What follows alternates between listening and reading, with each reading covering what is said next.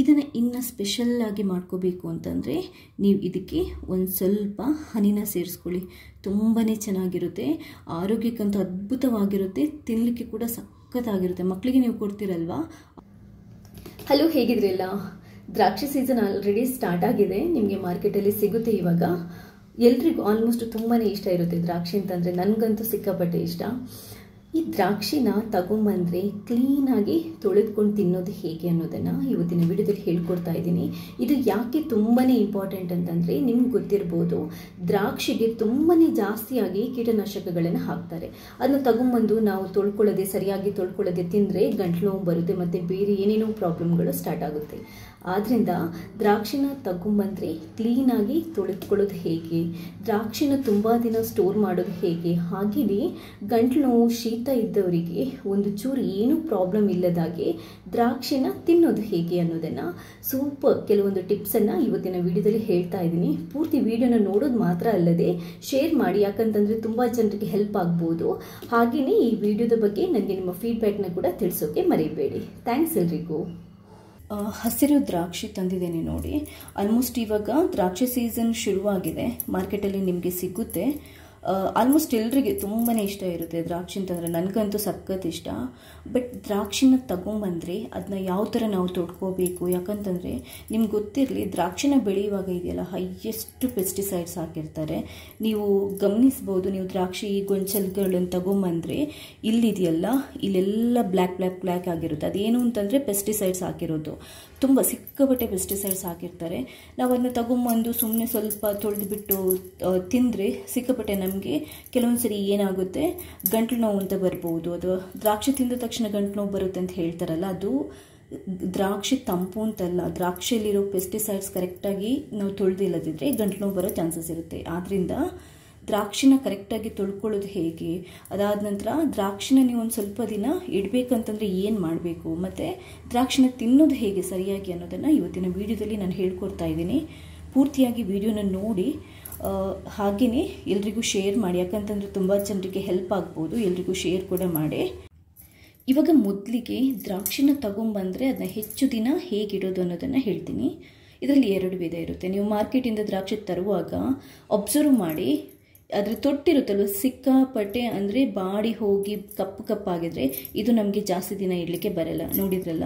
ಈ ಥರ ಇರೋದನ್ನು ಜಾಸ್ತಿ ದಿನ ಇಡಲಿಕ್ಕೆ ಬರಲ್ಲ. ಇದನ್ನ ನೀವು ಆವಾಗಲೇ ತಿಂದುಬಿಡ್ಬೋದು ಅಂದರೆ ನೀವು ಇದು ಮುಟ್ಟಿದರೆ ಉದುರ್ತಾ ಇರುತ್ತೆ. ಇದನ್ನ ನೀವು ಆವಾಗಲೇ ತಿನ್ಬೋದು. ಸ್ಟೋರ್ ಮಾಡುವ ದ್ರಾಕ್ಷಿ ಯಾವ ಥರ ಇರುತ್ತೆ ಅಂತಂದರೆ ನೋಡಿ. ಇದಿದೆಯಲ್ವಾ? ಇಲ್ಲಿ ನೋಡಿ. ಗ್ರೀನ್ ಇದೆ ಇದರ ದಂಟು. ಇದನ್ನ ನಾವು ಸ್ಟೋರ್ ಮಾಡ್ಬೋದು. ಇದನ್ನ ನಾವು ಎಷ್ಟು ದಿನ ಬೇಕಾದರೂ ಇಡ್ಬೋದು. ಈ ಥರ ಇರೋದನ್ನು ನಾವು ಎಷ್ಟು ದಿನ ಅಂತಂದರೆ ಒಂದು ಹದಿನೈದರಿಂದ ಇಪ್ಪತ್ತು ದಿನ ಆರಾಮ್ಸೆ ನಾವು ಇಡ್ಬೋದು. ಅದು ಹೇಗೆ ಅಂತ ಹೇಳ್ಕೊಡ್ತೀನಿ. ಫ್ರೆಶ್ ಆಗಿ ಈ ಥರ ಇಡ್ಬೋದು. ನಾವು ಸ್ಟೋರ್ ಮಾಡುವ ದ್ರಾಕ್ಷಿ ಆಗಿದ್ದರೆ ಮೊದಲೇನು ಮಾಡಬೇಕು ಗೊತ್ತಾ? ಇದರಲ್ಲಿ ನೋಡಿ, ಈ ಥರ ಕೊಳ್ತಿರೋದೆಲ್ಲ ಇರುತ್ತಲ್ವ? ಇದನ್ನ ರಿಮೂವ್ ಮಾಡಿ ತೆಗೆದುಬಿಡಿ. ಇದು ಒಂದಿದ್ರೆ ಸಾಕು, ಎಲ್ಲ ದ್ರಾಕ್ಷಿ ಹಾಳಾಗುತ್ತೆ. ಈ ಥರದ್ದು ಒಂದು ಚೂರು ಡಾಟ್ಸ್ ಮತ್ತು ಏನು ಇರಬಾರ್ದು ಪ್ಯಾಚಸ್ ಇದ್ದರೆ ಅದನ್ನ ತೆಗೆದುಬಿಡಿ. ನೋಡಿ ಯಾವುದು ಇರಬಾರ್ದು. ಇದೆಲ್ಲದನ್ನು ನಾವು ತೆಗೆದುಬಿಡಬೇಕಾಗುತ್ತೆ. ಮತ್ತು ನೀವು ಸ್ಟೋರ್ ಮಾಡೋ ದ್ರಾಕ್ಷಿ ಆದರೆ ತೊಳೆಯಬೇಡಿ.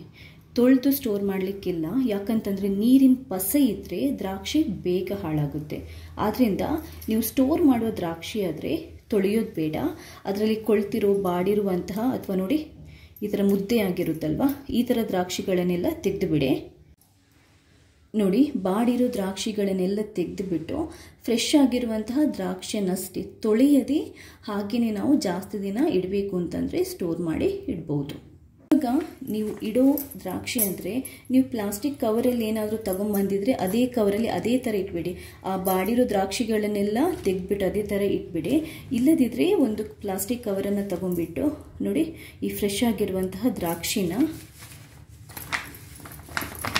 ಇದರ ಒಳಗಡೆ ನಿಧಾನಕ್ಕೆ ಹಾಕಿಬಿಟ್ಟು ಇದನ್ನ ನೀವು ಕ್ಲೋಸ್ ಮಾಡಿ, ಫೋಲ್ಡ್ ಮಾಡಿ, ಈ ಥರ ಫೋಲ್ಡ್ ಮಾಡಿ, ಫ್ರಿಜ್ಜಲ್ಲಿ ಇಡಬೇಕು. ಯಾವ ಥರ ಇಡಬೇಕು ಅಂತ ತೋರಿಸ್ತೇನೆ. ನಾವು ಫ್ರಿಜ್ಜಲ್ಲಿ ಇಡುವಾಗ ಯಾವತ್ತೂ ಇದೆಯಲ್ಲ, ತುಂಬ ಅಂದರೆ ಹ್ಯೂಮಿಡಿಟಿ ಜಾಸ್ತಿ ಇರುವ ಹತ್ರ ಇಡಬೇಕು. ಹ್ಯೂಮಿಡಿಟಿ ಜಾಸ್ತಿ ಅಂತಂದರೆ ಫ್ರಿಜ್ಜಿನ ಕೊನೆಯ ಭಾಗದಲ್ಲಿ ಇಟ್ಬಿಡಬೇಕು ಈ ಥರ. ಕೆಲವು ಫ್ರಿಜ್ಜುಗಳಲ್ಲಿ ಹ್ಯೂಮಿಡಿಟಿ ಚೇಂಬರ್ ಅಂತಲೇ ಇರುತ್ತೆ. ಹ್ಯುಮಿ ಹ್ಯುಮಿಡಿಟಿ ಇರೋದು ಬಾಕ್ಸಸ್ ಇರುತ್ತೆ. ಅಲ್ಲಿ ಇಟ್ಬೋದು ಇಲ್ಲ ಅಂದರೆ ಫ್ರಿಜ್ ಕೊನೆಯಲ್ಲಿ ಈ ಥರ ಇಟ್ಬಿಡ್ಬೇಕು. ಯಾಕಂತಂದರೆ ದ್ರಾಕ್ಷಿಗೆ ಜಾಸ್ತಿ ಹ್ಯೂಮಿಡಿಟಿ ಬೇಕಾಗುತ್ತೆ ಅಂದರೆ ಅದು ಫ್ರೆಶ್ ಆಗಿರಬೇಕು ಅಂತಂದರೆ.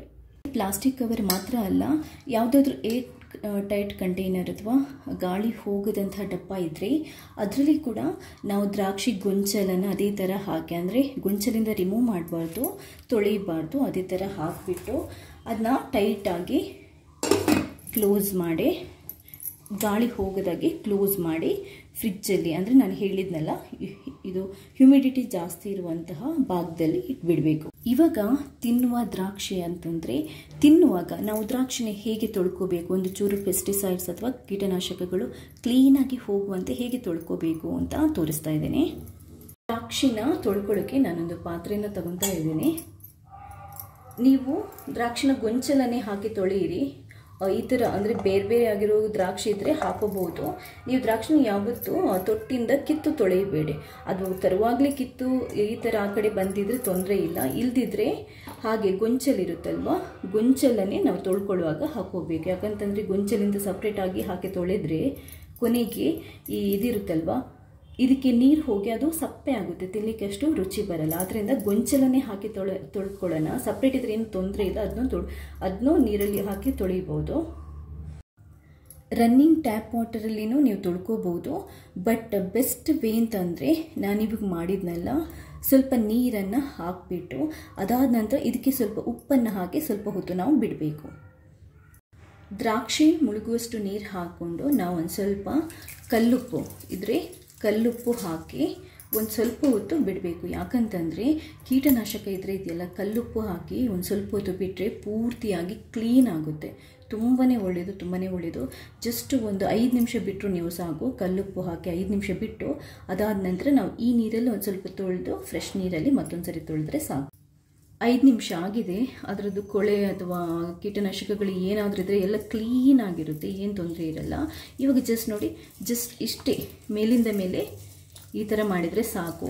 ಪೂರ್ತಿ ಅಂದರೆ ನಾವು ಜಾಸ್ತಿ ತೊಳೆದು ರಫಾಗಿ ತೊಳೆದ್ರೆ ದ್ರಾಕ್ಷಿ ಎಲ್ಲ ಕಿತ್ಕೊಂಡು ಬರುತ್ತೆ. ಅದಾದ ನಂತರ ನೀರಲ್ಲಿ ಜಾಸ್ತಿ ಹೊತ್ತಿದ್ರೆ ಚೆನ್ನಾಗಿರಲ್ಲ. ಇವಾಗ ಇದನ್ನ ನಾನು ತೆಗೆದ್ಬಿಟ್ಟು ಇನ್ನೊಂದು ಸರಿ ರನ್ನಿಂಗ್ ಟ್ಯಾಪ್ ವಾಟರಲ್ಲಿ ತೊಳಿತೀನಿ. ಸಾಕು ಅಷ್ಟು ಮಾಡಿದರೆ.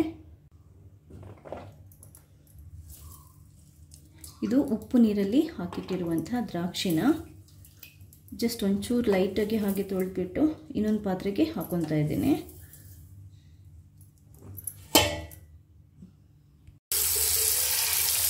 ಕೊನೆಗೆ ಫೈನಲ್ ಆಗಿ ಈ ರನ್ನಿಂಗ್ ಟ್ಯಾಪ್ ವಾಟರಲ್ಲಿ ಇದೆಯಲ್ವ ಸ್ವಲ್ಪ ಈ ಥರ ತೊಳ್ಕೊಂಡು ನೀರನ್ನು ತೆಗೆದ್ಬಿಡಿ, ಸಾಕು.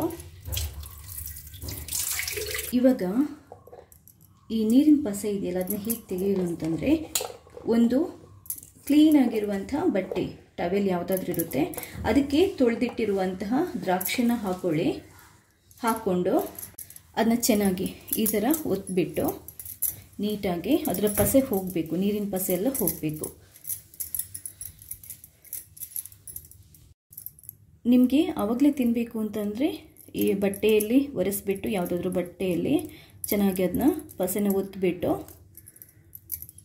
ನೀರಿನ ಪಸೆ ಎಲ್ಲ ತೆಗೆದು ಹಾಗೆಯೇ ತಿನ್ಬೋದು. ಈ ಶೀತ ಆಗುತ್ತೆ ಮತ್ತು ಅಥವಾ ಗಂಟಲು ಆಗುತ್ತೆ ಅನ್ನೋರಿಗೆ ಇನ್ನೊಂದು ಒಳ್ಳೆಯ ಉಪಾಯ ಹೇಳ್ತೀನಿ. ತಿನ್ನುವಾಗ ನಾವು ಹೇಗೆ ತಿನ್ನಬೇಕು ಅಂತ. ನೀರಿನ ಪಸೆ ಎಲ್ಲ ಆರೋ ತನಕ.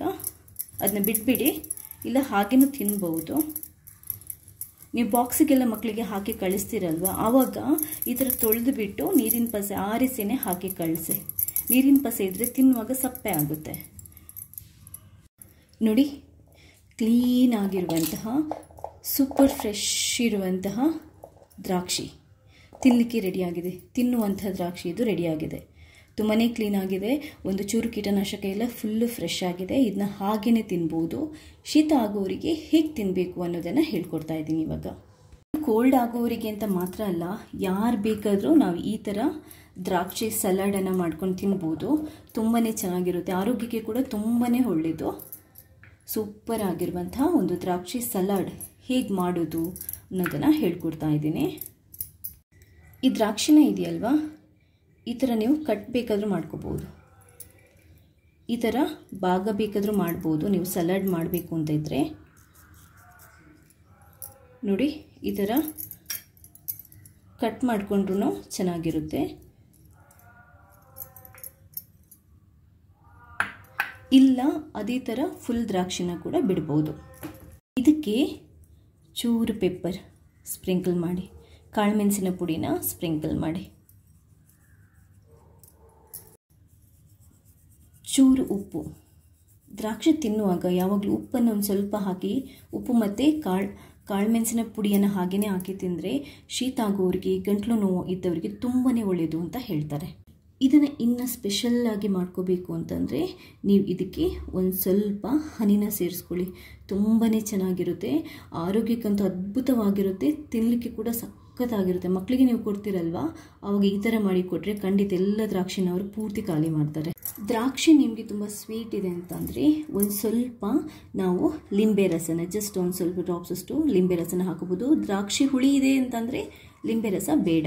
ನಾನು ಒಂದು ಸ್ವಲ್ಪ ಲಿಂಬೆ ರಸನ ಹಾಕೊತಾ ಇದ್ದೀನಿ. ನೀಟಾಗಿ ಮಿಕ್ಸ್ ಮಾಡ್ಕೊಳ್ಳಿ. ಮಿಕ್ಸ್ ಮಾಡಿಕೊಂಡು ತಿಂತಾ ಇದ್ರೆ ಅದರ ಮಜನೇ ಬೇರೆ.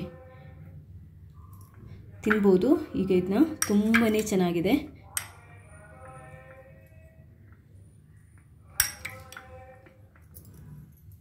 ಇವಾಗ ಇದು ತಿನ್ನಲಿಕ್ಕೆ ರೆಡಿಯಾಗಿದೆ ಒಂದ್ಸರಿ ನೀವು ಶೀತ, ಕಫ ಇರುವವರು ಈ ಥರ ಮಾಡಿ ತಿನ್ನಿ.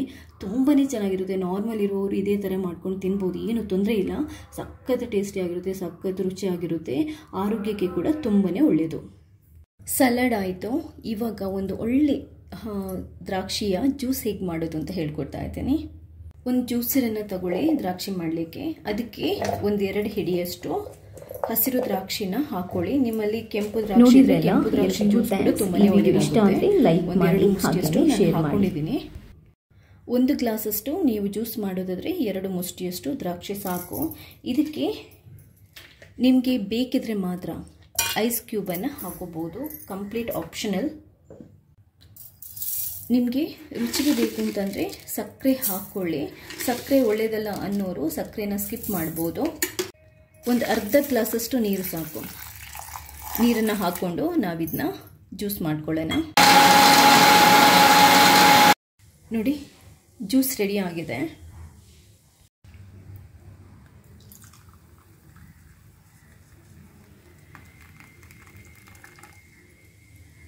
ನೀವು ನಿಮಗೆ ಮತ್ತೆ ಥಂಡಿ ಬೇಕು ಅಂತಂದರೆ ಐಸ್ ಕ್ಯೂಬ್ ಹಾಕ್ಕೊಂಡು ಕುಡಿಬೋದು. ನೋಡಿ ಸೂಪರ್ ಆಗಿರುವಂಥ ಚಿಲ್ಡ್ ಹಸಿರು ದ್ರಾಕ್ಷಿಯ ಜ್ಯೂಸ್ ರೆಡಿಯಾಗಿದೆ ಸೂಪರ್ ದ್ರಾಕ್ಷಿ ಸಲಾಡ್, ದ್ರಾಕ್ಷಿ ಜ್ಯೂಸ್ ರೆಡಿಯಾಗಿದೆ ನೋಡಿ. ಈ ಸೆಕೆಗೆ ಸಖತ್ತಾಗಿರುತ್ತೆ ದ್ರಾಕ್ಷಿ, ತಂಪು ತಂಪಾಗಿ, ಬಾಡಿನ ತುಂಬ ತಂಪಾಗಿರಿಸುತ್ತೆ.